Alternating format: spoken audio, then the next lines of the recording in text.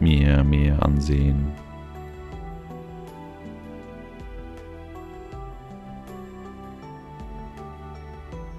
Na komm schon, so weit weg kann er nicht sein. Selbst ein Merkur ist einigermaßen flott.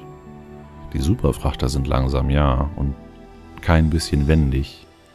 Aber die normalen Merkuren sind eigentlich schnell genug, um so einen Sektor gut zu überschreiten. Sehr schön. Paraniden-Nomade, das klingt doch schon mal gut. Dann nehmen wir jetzt mal einfach unseren Silizium-Transporter. Der müsste jetzt auf halber Strecke sein. Oder zumindest ein wenig weitergekommen sein. Kommando abbrechen. Er ist jetzt in Paranid Prime. Also wir machen jetzt Handel, Verkauf zum besten Preis innerhalb von einem Sektor.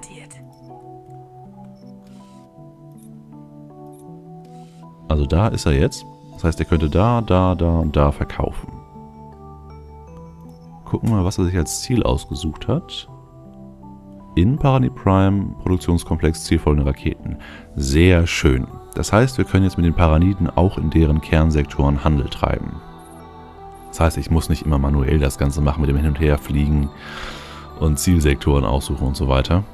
Ich kann jetzt einfach sagen, äh, Kauf in den Minen des Imperators hieß das, glaube ich.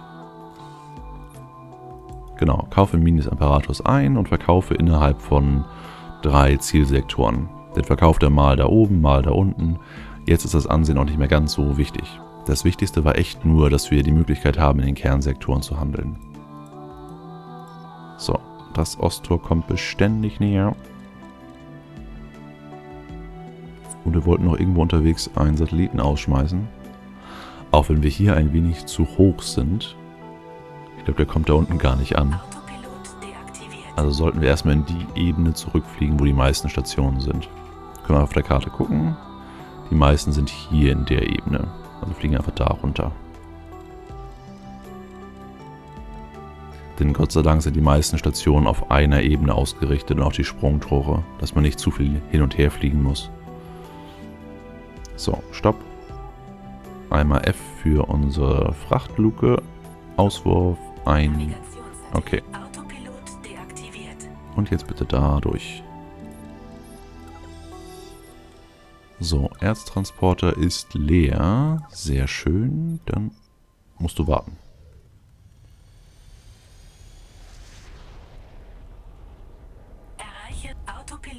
So, da hinten ist schon mal eine neue Sprungtour. In die ungefähre Richtung fliegen wir mal. Ah, der kommt verdächtig nahe. Nö. Na gut, benutzen wir lieber den automatischen Weg dahin. Einfach Doppelklick da hinten hin. So. Jetzt wartet noch jemand auf unseren Auftrag. Und jemand anders hat was zu meckern. Also du erstmal. Du Handel, kaufe zum besten Preis. Er ist jetzt noch in Priesters Gnade. Ich sage ihm jetzt, er soll zum besten Preis hier unten kaufen. In einem Radius von, sagen wir mal, 3. Dann könnte er auch noch im Erzgürtel kaufen, falls in den Minen des Imperators wirklich nichts Gutes zu holen ist. So, jetzt will ich aber gucken, ob er den Sprungantrieb benutzt, um gleich dahin zu fliegen. Noch ist er Priesters Gnade. Also er müsste es eigentlich. Und schwupp, er ist im Minen des Imperators. Genau so muss das laufen. Daran sieht man, dass sobald diese halbautomatischen Händler einen Sprungantrieb haben, der Handel gleich wesentlich schneller geht. Weil halt das ganze Hin- und Hergefliege gespart wird. Man muss halt erstmal die 100.000 Credits haben für den Sprungantrieb pro Schiff. Aber das dürften wir langsam hinbekommen. Ja, 334.000. Kann ich bald die anderen auch aufrüsten. So, wer hat noch gemeckert? Er hat gemeckert. Er hat laut Nachricht nur einen Teil verkaufen können. Das hat Silizium so an sich. Also verkauft doch zum besten Preis die Siliziumscheiben in einem Radius von 3 nochmal. So. Ähm, Sobald dieser Energietransporter hier seine Energiezellen gekauft hat zum besten Preis, schicke ich ihn auch zum TerraCorp Headquarter, um da einen Sprungantrieb zu kaufen. So, stopp, stopp, stopp, stopp, stopp. Wir wollen noch nicht durchfliegen. Wir wollen erstmal hier mitten im Weg einen Navigationssatelliten ausschmeißen. So. Schöne Brotkrumenspur hinterlassen, wie sich das gehört. Und hier gibt es auch nur ein Osttor. Es gibt kein Süd- und kein Nordtor. Der Bronbereich ist hier recht gut abgesichert. Also hat nicht so viele Ein- und Ausgänge. Wie jetzt zum Beispiel der Argon-Bereich. Der ist ja ein wenig anders. Die Argonen haben hier oben einen Zugang, da einen Zugang, da einen Zugang und da einen Zugang. So, Königinhügel ist total grün. Überall ist Nebel, man sieht fast gar nichts. Ja, wir brauchen echt unbedingt einen Triplex-Scanner. Sobald wir irgendwo ein boronisches Ausrüstungsdock sehen, machen wir da halt. So, du fliegst erstmal da hinten hin. Schmeißt hier, sobald wir ein wenig weg vom Tor sind, die Satelliten aus, auch wenn die fast nie zerstört werden. Also man kann die wirklich in, die, in Hauptverkehrsraumstraße äh, reinschmeißen. Also wo halt alle lang fliegen, also hier schräg runter und da schräg hoch. Und trotzdem donnert da keiner gegen, weil die halt so klein sind. So, du, warte dahin. Besitz. Ah, Energietransporter hat seine Energie. Und ist jetzt ganz oben in dem Energiezirkulum wahrscheinlich. Na gut, Navigation, docke an. Heimat des Lichts, TerraCorp Headquarters. Dann haben wir schon mal gleich zwei halbautomatische Schiffe mit Sprungantrieben. Als nächstes ist dann der Siliziumtransporter dran. Und dann müssen wir weiter gucken. Also hoffentlich hat bis dahin der Sektorhändler seine Stufe 8 erreicht. Und oh, wir sind angekommen. Zwar nicht da, wo ich gerne wäre. Nämlich an einer Station mit Triplex-Scanner, aber so soll es auch okay sein. Gucken wir da unten nochmal hin. Wir können keine illegale Ware an Bord entdecken. Menelaus schütze sie auf ihren Reisen. Genau. Menelaus war ja die Tochter der Königin, also die Prinzessin, glaube ich. Oh, oh, oh, oh, oh, oh, oh. Da sind wir gerade wogegen gedonnert. Das war gar nicht gut. Und genau deswegen habe ich Sinzer normalerweise nur auf 600%. So, dann bremsen wir mal ganz kurz ab und verlassen unser Raumschiff. Das haben wir bisher noch nie gemacht. Glaube ich. Und zwar kann man zwar einfach auch in eine Schiffswerft fliegen und sein Schiff da verkaufen, aber das kostet prozentual von dem Wert des Schiffes richtig viele Credits. Also wenn du ein Schiff hast, das 2 Millionen kostet und die Hülle ist zu 50% beschädigt, dann kannst du auch mal eben eine Million für die Reparaturkosten ausgeben. Und das ist ganz schön happig. Alternativ macht man halt wie ich, was teilweise zeitaufwendig ist, aber halt Credit sparend. Steigt einfach aus und drückt mit der rechten Maustaste auf sein Schiff. Dann sieht man hier unten den Reparaturlaser, wie er langsam Energie verliert. Und dann Genau, dann müssen wir kurz warten, bis er wieder aufgeladen ist und können dann wieder reparieren. Dauert halt, wie gesagt, eine Weile, aber man spart gerade am Anfang sehr viele Credits. Das war mit ein Grund, warum ich damals bei X3 Reunion nur ganz kurz reingeguckt hatte und gleich wieder aufgehört hatte zu spielen. Also als es rauskam. Weil ich fand es einfach tierisch frustrierend, wenn man seinen Flieger am Anfang hat. Man fliegt 10, 20 kleine Missionen, ähm, um dann Credits zusammenzubekommen. Und dann wird man einmal stark angeschossen, verliert ein bisschen Schilde und hat dann trotzdem, obwohl man so viele Missionen geflogen ist, nicht genug Credits, um sein Schiff zu reparieren. Das war mir dann zu nervig. Aber das ist bei den meisten Spielen so, die recht anspruchsvoll sind, wo man sehr viel lernen muss. Am Anfang kann man recht schnell abgeschreckt sein. Aber irgendwann kommt man dann doch zurück und äh, versucht herauszufinden, woran es nun wirklich lag. Weil sonst wäre ich nicht auf die Idee gekommen, einfach auszusteigen und mein Schiff zu reparieren. Das muss man auch erstmal wissen. Und da es kein richtiges Tutorial für sowas gibt, ja, ist das schon schwierig. Aber gut, wir sind gleich soweit wieder auf Maximalhülle. Wir können leider hier draußen auch keinen Sinsa benutzen. Weil Sinsa ist ja eine Schiffserweiterung. Und unser kleiner Raumanzug hier hat keine Schiffserweiterung. Genau. Da passt keine Schiffserweiterung rauf. Britzel, Britzel, Britzel. Naja, und es ist auch übrigens vollkommen egal, wo man mit dem Laser hinzielt. Ich wandere nur zwischendurch mal ganz gerne hin und her als Zeitbeschäftigung. Und weil es ein wenig realistischer ist. Also, wenn das Triebwerk kaputt ist, wenn man die ganze Zeit auf dem Cockpit hält, dann verstehe ich nicht so wirklich, wie das denn repariert werden soll. Aber ja. So, wir sind nah genug dran. Wir betreten auch das Schiff wieder. Entweder über direkt anklicken und dann Schiff betreten oder Shift E. So.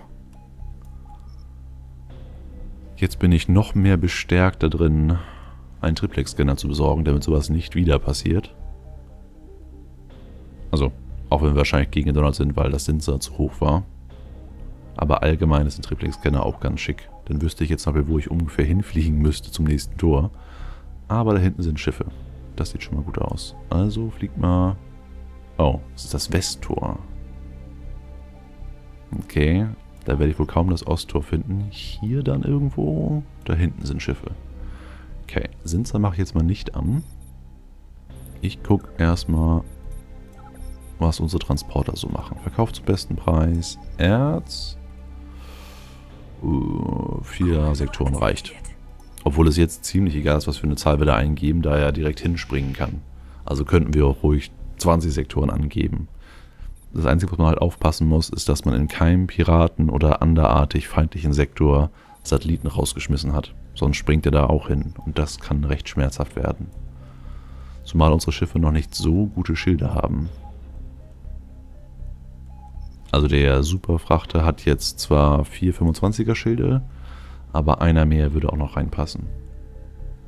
Und Drohnen hat er wahrscheinlich auch noch keine gekauft. Das hängt immer von dem Level-Up des NPCs, der im Schiff drin sitzt. Ab einem bestimmten Level fängt er halt an, seinen Sprungantrieb zu benutzen, ab einem anderen bestimmten Level fängt er an, sich Drohnen zu kaufen. Aber ab 8 müsste er das eigentlich alles machen. So, haben wir schon Satelliten ausgeschmissen? Ja, haben wir. Dann könnten wir hier nach Osten gehen, aber ich glaube, es gab auch noch ein Südtor. Gucken wir mal da so hin. Weil das eine Schiff ist hier aus dem Osttor raus und fliegt jetzt da hin. Und da kommen auch Schiffe von Südosten nach Nordwesten. Also könnte da auch noch ein Tor sein. Gucken wir kurz die Universumskarte. Nee, da kann kein Tor sein. Schade. Also doch. Durchs Osttor. Da ist das Osttor. So, durch da. So groß ist der Bohnensektor auch nicht. Also die, der ganze Bereich der Bohnen hier oben. Im Vergleich zu den Agonen. Aber dafür haben sie noch mehrere Außenposten etwas weiter außerhalb. So. Hier müsste es aber mehrere Ausgänge geben. Und wir haben auch den doofen Nebel nicht mehr. Das ist schon mal gut. So, dann klappern wir mal die Stationen ab. Ich hätte gerne einen Ausrüstungsstock. Nein, Stottmischerei ist deren Nahrung. Nee, es ist gar nicht. Bofu ist deren Nahrung. Name. Nahrung. Gottverdammt. Wofür was Stott? Stottgewürze. Hm. Weiß ich so jetzt gar nicht. Aber ja, mit Bofu kann man auch relativ gut Credits machen am Anfang. Also allgemein mit der ganzen Nahrung. Das heißt, man geht erstmal in den Argonensektor, platziert überall da, wo man es denn braucht, eine Farm, die Fleisch produziert und gleich daneben eine Kahuna-Presse, um daraus was Essbares zu machen. Dann geht man in den Boronensektor und macht da das gleiche. Also einmal eine Bo-Gasfabrik und in eine und ein Bofu-Chemielabor. Die beiden setzt man dann direkt nebeneinander, die Station, und macht daraus einen Komplex. Dann muss man nur Energiezellen reintun und bekommt die Nahrung der Boronen raus.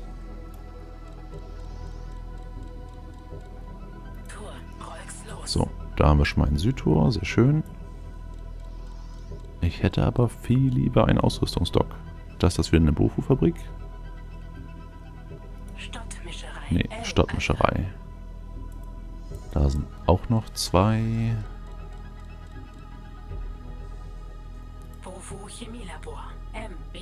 Ja, die scheinen die Nahrungsversorgung aber schon gut im Griff zu haben. Also hier wird es sich auf keinen Fall lohnen, die Station aufzustellen. Und das ist auch so genau so eine Sache, worauf man achten sollte. Man sollte jetzt nicht willkürlich in einem Sektor, der gut aussieht, äh, eine Fabrik hinsetzen. Man sollte gucken, wie der Sektor selber aufgebaut ist, also was für Waren da gebraucht werden und welche Waren in demselben Sektor und in den angrenzenden Sektoren angeboten werden.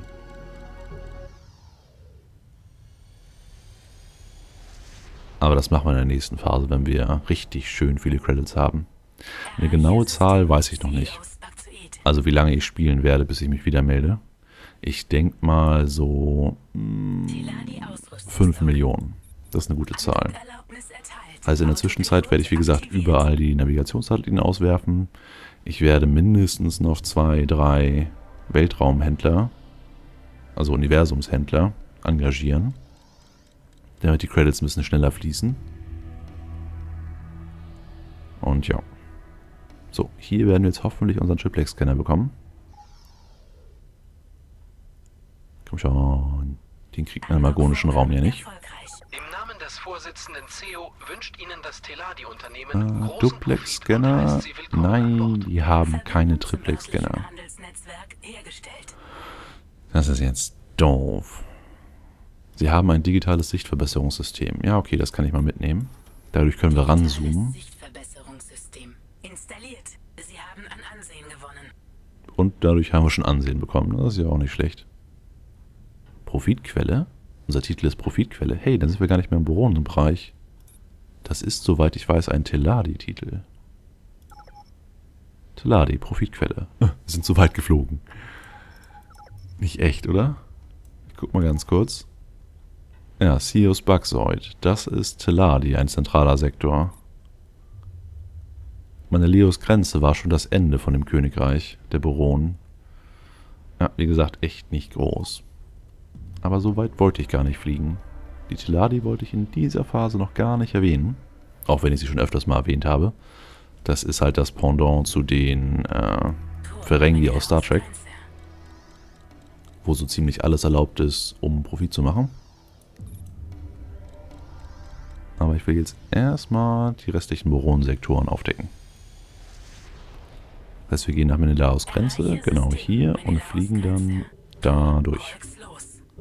In der Hoffnung, dass Rolkslos auch noch ein Boronensektor ist. Aber ich glaube, das war er.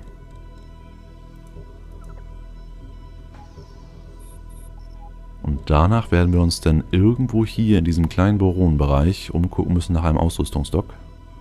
Denn die Teladi haben ja anscheinend auch keine Triplex-Scanner. Die Paraniden haben einen, das weiß ich. Aber da konnten wir vorher nicht einkaufen, weil wir kein Ansehen haben. Inzwischen haben wir das Ansehen, nur um da ganz runter zu kommen, müsste ich bestimmt eine halbe Stunde, Stunde verbrauchen. Und das will ich nicht unbedingt. Also eine gefühlte halbe Stunde, Stunde. So, Rolks los. Überall ist grüner Nebel. Das ist schon mal ein gutes Zeichen. Und Rolks los ist ein äußerer Sektor der Baronen. Schöne Sache. Also nicht schön wegen dem Nebel, aber schön, weil hier eventuell ein Ausrüstungsdock sein könnte. Auch wenn es ein wenig ungewöhnlich wäre. Denn normalerweise sind die nur in Kernsektoren. Haben wir noch einen Navigationssatelliten? Jo. Navigationssatellit ausgeworfen. Auch wenn er nicht wirklich viel gebracht hat. Aber ja, die erweiterten Satelliten später machen dann richtig gut Aufklärung. Also die haben einen richtig schön großen Radius. Noch weiter als der Triplex-Scanner. Oh, ein Boron-Ausrüstungsdock. Genau das habe ich gesucht. Und so viel dazu, dass es ungewöhnlich ist. Hm? So, andocken, Triplex-Scanner kaufen.